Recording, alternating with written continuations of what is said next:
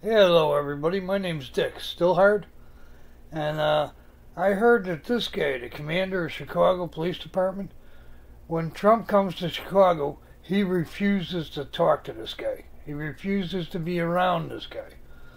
But it's funny that Trump backs all the police departments, backs the sheriffs, backs the all the law enforcement. Trump is with these people. He ain't against them. But yet this guy doesn't want any part of Trump. Could it be because he's in a sanctuary city? Maybe this guy needs to be, maybe he needs to lose his job or demoted. Put him on a, a beat, walking a beat, because believe me, he needs to lose his weight anyway. Have him uh, walk a beat around 63rd and Halsted. Let him do that for about seven months. Uh, if I'm not mistaken, they just found him the other day uh, sleeping in a squad car, and supposedly he was drunk. So what's the deal there? This guy ought to, he should should have gotten a DUI. But there's there's a law for him and a law for me. I'm Joe Schmo. Well, really, I'm not. I'm I'm Dick Stillhard.